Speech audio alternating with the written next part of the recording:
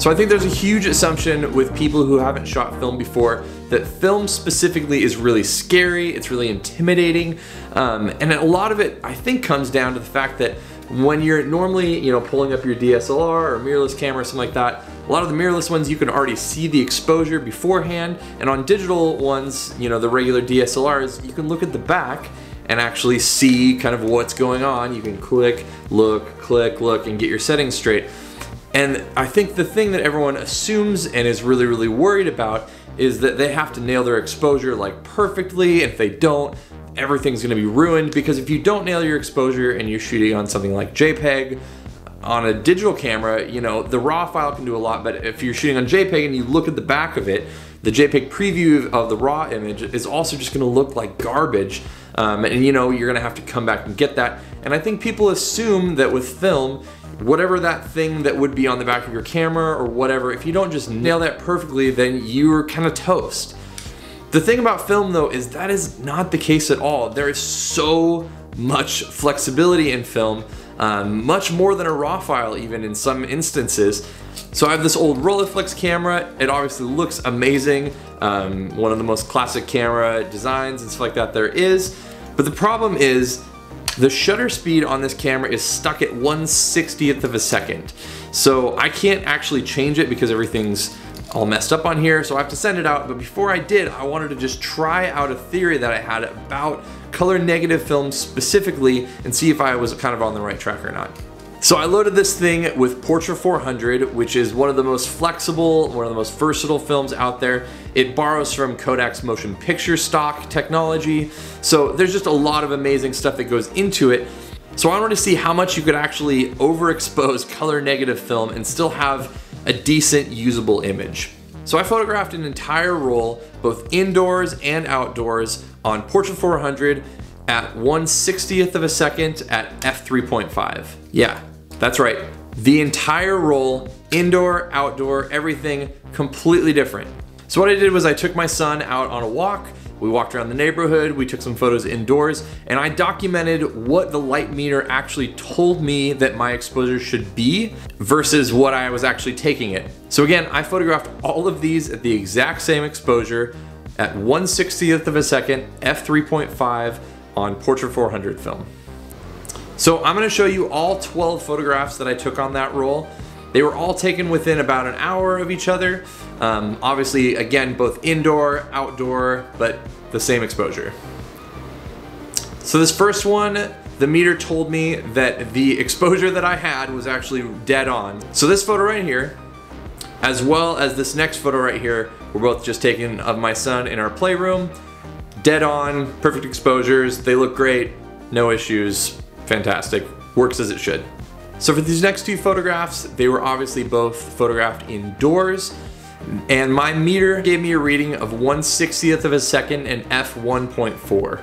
So that exposure is two and two thirds stops under what my camera could actually produce because my shutter speed again was stopped at that point so I couldn't go any lower and my aperture doesn't go any lower on that camera than 3.5. So when it said that I needed an aperture of 1.4, my only option was essentially to underexpose by almost three stops.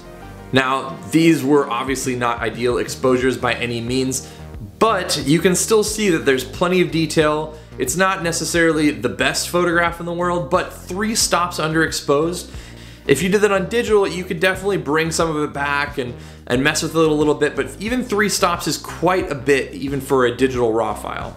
Okay, so here is where film gets a little bit insane.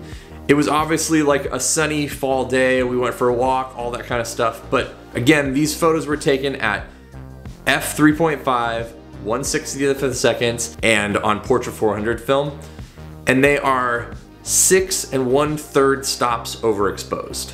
Now if you tried to do that on any digital camera I know, I don't know a single digital camera that would make even close to a usable image at six and one third stops overexposed. I mean, you'd have to, I mean, Lightroom doesn't even allow you to do six stops. I think their max is five. So six and one third stops is an absolutely insane amount of overexposure. But as you can see, in color negative film, the highlights have so much information in them Obviously I blew focus on this first one a little bit, but you can see in here that I didn't even lose any detail. The sky's blue, all this stuff, it's direct sunlight. Later in the day, you can see that this is super harsh, but it nails exposure perfectly. The guys at Indie Film Lab were able to scan it back. Obviously it was overexposed, but there is a completely usable image at six and one third stops overexposed. On the second photograph here, the only thing that is like possibly unusable is the house that is in direct sunlight. It is a white house direct sun on it, and everything else is completely usable. There's still a ton of information in the shadows. Overall, it looks like it was a good exposure, but again, I was six and one third stops overexposed. All right, so don't mind the blurriness here. Again, 1 60th of a second isn't that fast of a shutter speed, but this photograph was a little over two stops overexposed. Again, try to overexpose two stops on a digital camera, it's gonna look like garbage, but this looks perfect.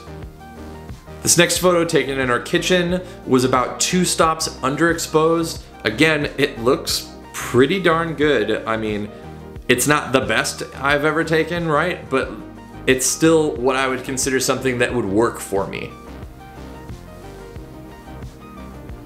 So these next three were within, you know, a third stop or so of being a correct exposure. Um, so we'll go through, and this is obviously what it's supposed to look like. So this one, this one, if any of you have a toddler, you've probably seen a lot of these before.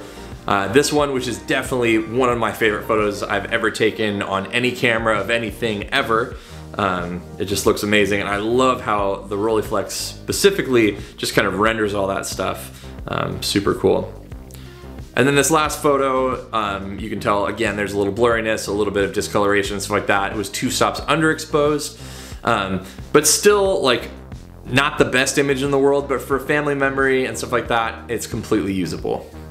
So in all, with my most underexposed photos, they were about three stops underexposed, and my most overexposed photos were about six stops overexposed.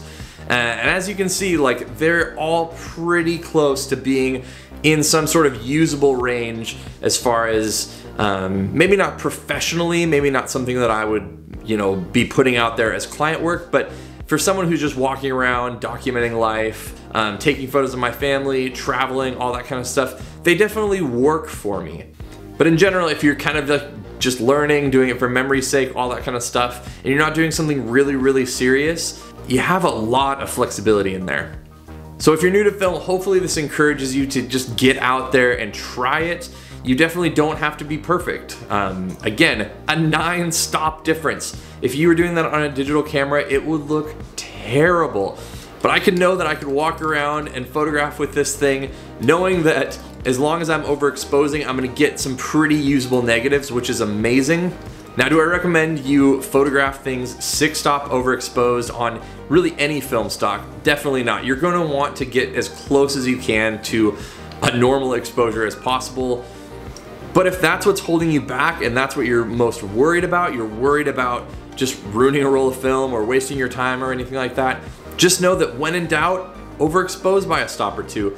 Um, one of the easiest ways to do this is just to set your internal meter if you have one. Set it to either plus one if it has an exposure compensation, or just simply set your ISO to half of whatever the number is. So if you're shooting with Portra 400 film, just put the ISO, set it manually to 200. Uh, or if you're shooting like let's say Ultramax 400, set it to 200, or Gold 200, set it to 100. Uh, if you just take the number that your film says and divide it by two, cut it in half, just set that up, your camera will automatically overexpose by one stop, which will just give you a lot more flexibility and a lot more space in that negative for things to look good.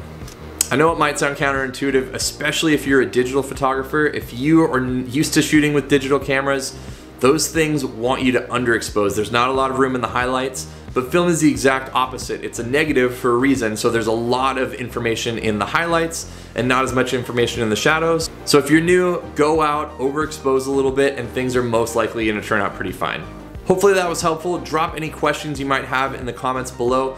I'll link to some good resources, some films to try out below. And if you have any suggestions on ways to make it easier for people to start shooting film, drop that down below too. I think that the film photography community often is really discouraging to people and that's another reason why they don't try it. Um, so if you have any words of encouragement as a film photographer to give to people looking to shoot film, drop them below. And if you're new, Please ask questions. I would love to answer them and help you along your journey. So if you like this video, please like, subscribe, all that stuff to help the channel. And thanks again. See you on the next one. Peace.